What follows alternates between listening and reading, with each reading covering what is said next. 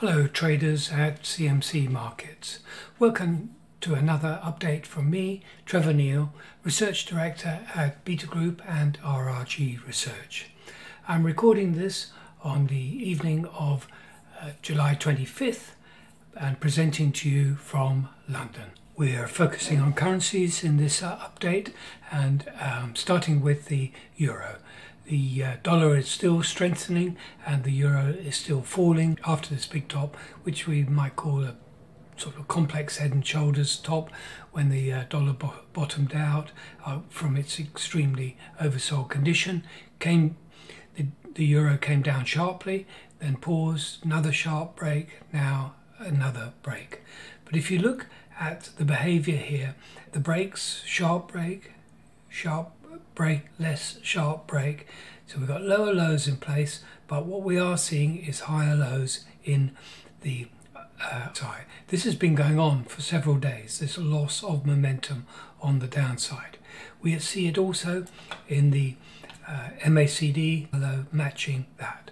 So we're losing momentum on the downside, but the key thing is to observe is that we're approaching the first significant support point uh, for the euro.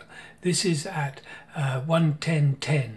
So as we approach the support at 110.10, we are in fact losing momentum. So I think that we're close to finding, coming to an end for this uh, move. We're seeing the decreasing enthusiasm to sell, and I'm looking for a bottom to develop in the next few days. Now we got a lot of news coming out, central bank news from the the Fed and the ECB as well this week. But the implication from the chart is that we're approaching a support point and that this weakness is coming towards an end and we may be setting ourselves up for a reversal. At the moment, the last lower high is at 110.85 and so we need to break that in order to change the direction of the trend. But watch out for this, it's not a one-way street and we're coming down to significant support and losing momentum as we approach it. And now to sterling. Here uh, we've got what looks like a basing formation and the trend is, is uh, turning up. We have broken through some resistance levels. We're actually bouncing very um, in a very uh, regular way between uh, support and resistance levels, unusual for sterling to be so technically well behaved. But what we've got is one, two, three, possibly four lows um, around this uh, 128.10 level, so that's a strong level of support.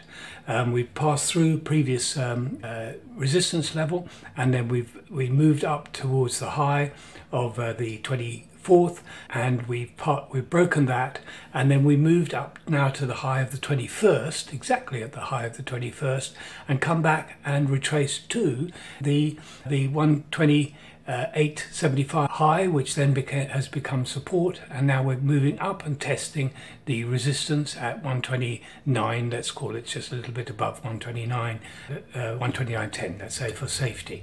The MACD line is moving up, is oscillating higher. Currently, it's uh, crossing downwards or close to crossing downwards on this pause action here, but it can easily uh, turn back up again. The uh, RSI has also got a series of higher lows. Even through these four bottoms that we've got in here, we had higher lows through there. So that was a bullish formation for it. We've got a lower high at the moment, indicating we will hesitate a little bit longer around this 129.305 level before it quite possibly will break out. Then that will become support the next resistance is right up at uh, uh, 129.95 and that's from a uh, long time ago, weeks ago in, in, fact that resistance level. And there isn't much resistance between here and there. So potentially we could break this high and then could surge be well supported by that high there continue the pattern of rising lows and the trend continuing if we of course do see uh, a weaker dollar. But this is looking like um, it wants to break to the upside.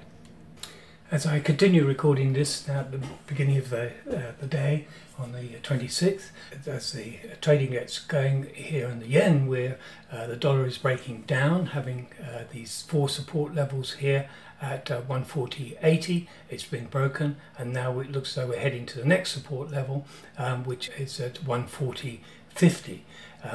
In the big picture, this does look like uh, uh, this message that we, we saw earlier in the uh, pound and the euro, uh, the, the, the, the dollar is changing direction, is cha changing from up to down. So we have these lower highs in place here, breaking these horizontal uh, levels and looking like a changing overall direction.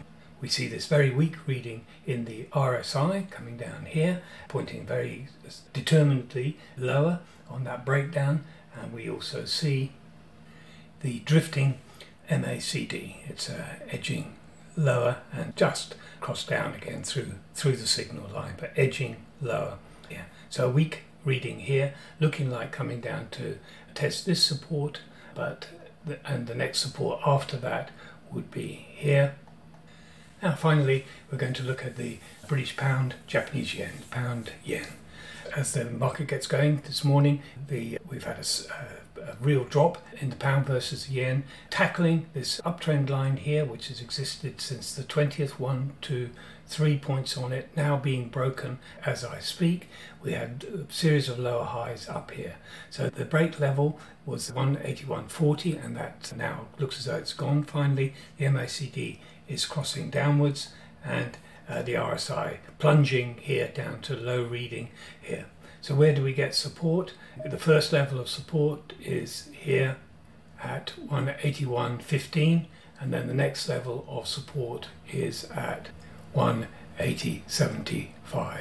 As I write, it's, just uh, jumped back inside the triangle uh, again, so it hasn't uh, um, held the breakout, and so it's not a breakout uh, yet, but that may be just uh, delayed. Um, we're testing the uh, line and the support remains of course the same as it was and, and it's quite threatening picture for the pound going down versus the Japanese yen.